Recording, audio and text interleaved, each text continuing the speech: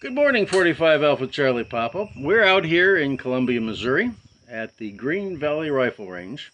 This is my home range. This is where the Bianchi Cup is uh, shot every year. And we're going to start and give you some video of the first shots out of this Navy uh, model 1870 Springfield made rolling block in 5070 government.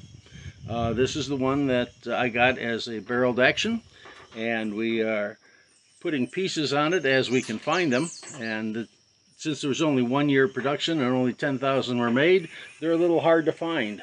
But let's see if we can get this thing to shoot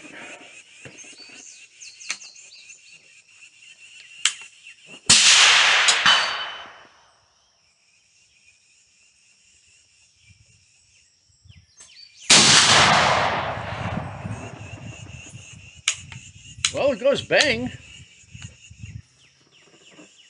It's a black powder cartridge, 5070 government, just like they used back then.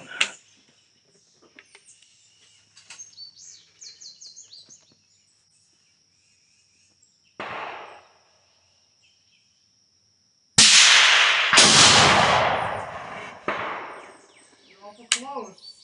Well, the first four were a certain lighter than the ones in the bag. Well, for the first one, the tie was just me holding on to it and wait to see where I was would go. And I've got three all around the hole. And then this is, this is 40 and a half, that's 39 and a half. Pretty much the same place.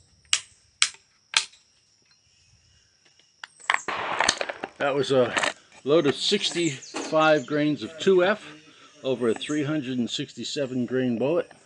No wad, just black powder and a bullet. I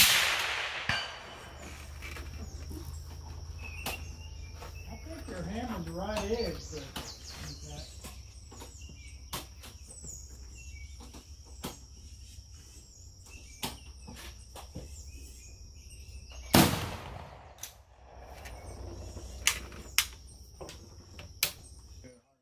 okay. Okay, now we have the first movie star in our midst. This is the iconic Trapdoor Springfield. At the end of the Civil War, when cartridges were just coming into vogue, um, the Army was looking for a cheap way to use up all those 1861 muskets that they had, uh, percussion rifled muskets, and they came up with this conversion, which allowed them to use the barrels up, make a new receiver. It latched. This is why it's called the trapdoor. And you could once again single load it with powder 4570 cartridge. This was these were the guns used by Custer. I mean, what better uh, uh, recommendation can you have than you could get wiped out using a gun like? but uh, that was uh, the Army was using them. This happens to be an H and R reproduction, the cavalry carbine, uh, and we'll shoot that a couple of times just to just to show you what that's like. Again, a black powder single shot cartridge, a single uh, shot cartridge, right? Uh, carbine.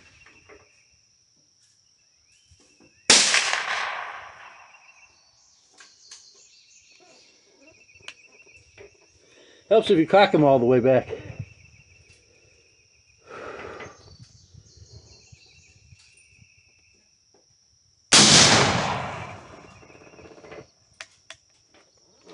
And this one would actually project around.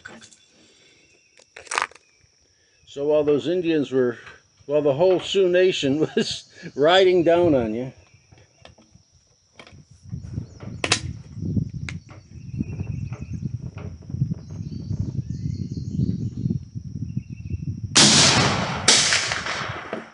had a single shot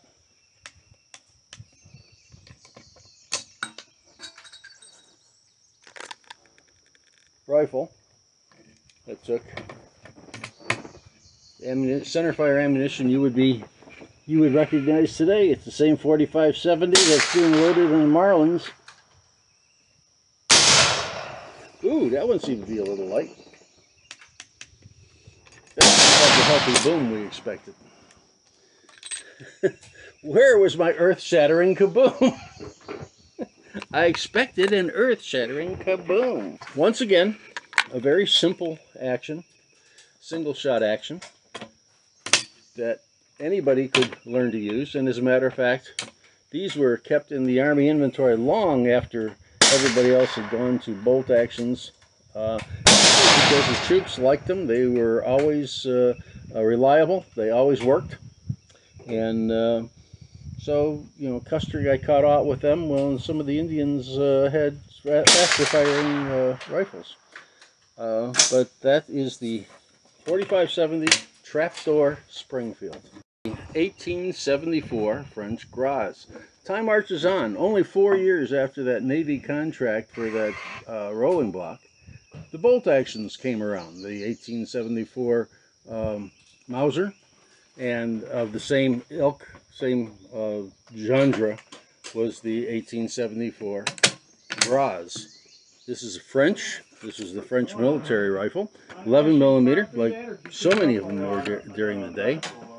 And it took again a contained cartridge. So we have gone from the rolling block to the trapdoor, and now we're starting to see some new technologies. Still black powder. These the berries. Yeah, 55.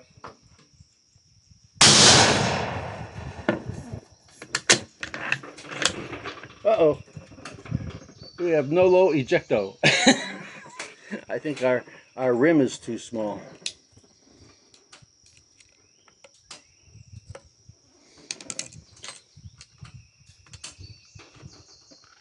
These were uh, these were made out of uh, 348 Winchester brass because I couldn't find any brass. And we seem to have a small headspace problem. We probably need a thicker rim. That's why it's not ejecting and that we're getting a slight primer rise with the shot. So we have to work on our technique of our reloading technique here and see if we can't get some uh, ammunition that works better in this particular rifle. At least for functioning, it shoots just fine.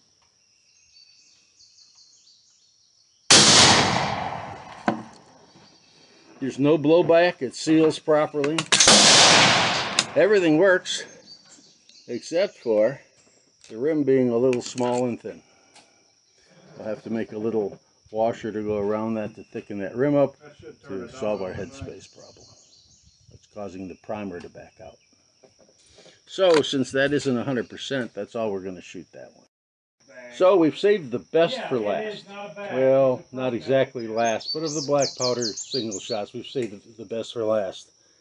This is the movie star. This is the Marilyn Monroe of single shot rifles. This is the Mark II Martini Henry 577 450 single shot dropping block that starred in the movie Zulu. Uh, it's a dropping block. When you work the lever, the block simply drops, the cartridge comes out, you put the next one in, close the lever, and you're back in business. If you've seen the movie Zulu, you've seen them fire these in volley fire, in independent fire, and this is this was the movie star. This was the one that that got everybody kind of hot to shoot uh, black powder cartridge again. So let's take a 577 450, which was the 577 Snider case, neck down from 577 to 450. In other words, it's a wildcat. it's the flat shooting varmint cartridge of the era. Not really, but nonetheless, that's that's what they did is they necked down the 577 Snider cartridge and it's single loaded. There's no safety.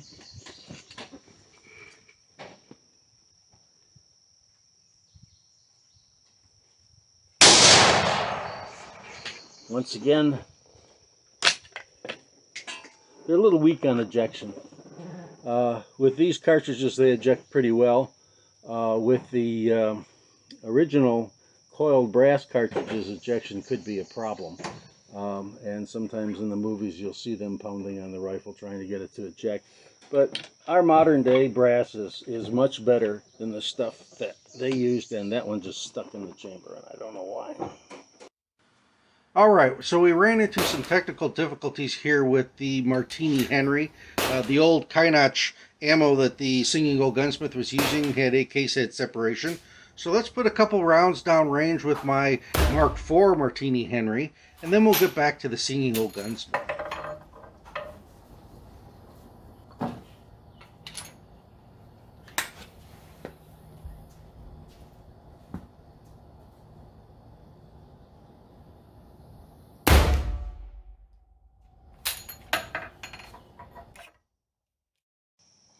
So anyway, you still running? Yep. Okay. So, 150 year old rifles can be temperamental. Okay, and if you're into old rifles, if you don't, if like me, you don't think rifles are truly interesting till they're at least 100 years old, here's several items that you might be interested in collecting. If, on the other hand, you're a modern day shooter and you want to shoot modern day cartridges without trouble, there are still single shot rifles that are economically available that we'll show you a couple of now. Okay? Thank you, 45 Alpha Charlie Papa. I had such a good time.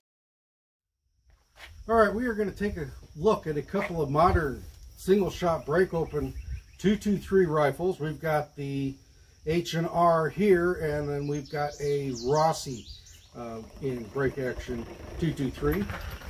Old design, 1800s, late 1800s. They came out with these. A lot of these were shotguns, but they did make several rifles in these break open, open actions. Let's try the round gong.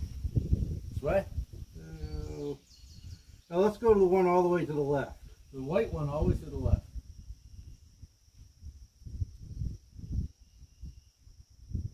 That hit. I saw it move and everything. Heard it and saw it.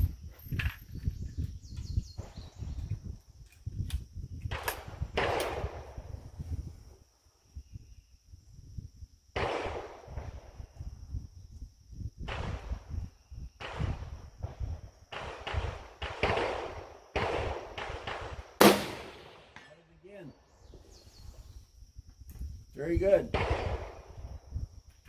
One more.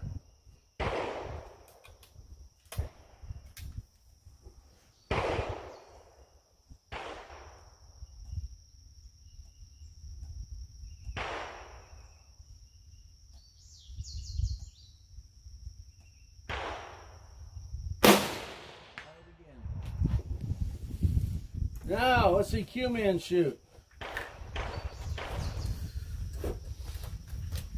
All right, we're to try the Rossi here. Let's put this on paper first, and then we'll go out to 250 yards. These are 55 grain soft points.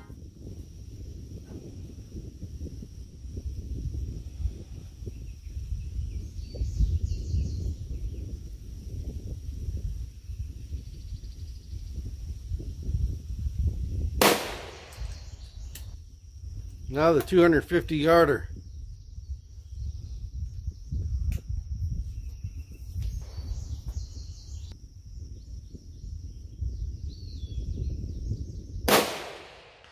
Got it. Took a sweet time getting there.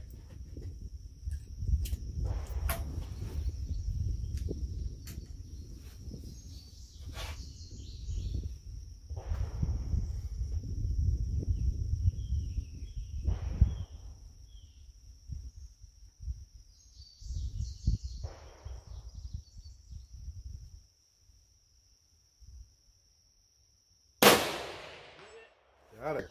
This is 45 Alpha Charlie Papa channel. Thanks for watching. Please like, subscribe, comment down below. I appreciate comments, and I am out.